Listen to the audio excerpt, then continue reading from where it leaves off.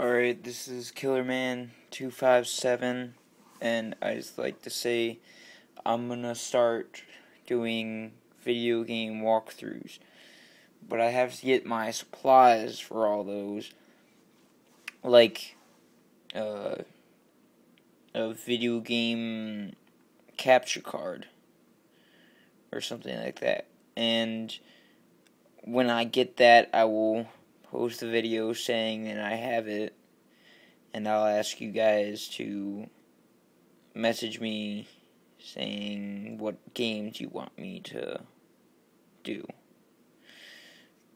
But to save me that, just put your in the comments what game you want me to do. I'll pick a game randomly out of that, and I'll do a walkthrough out of it.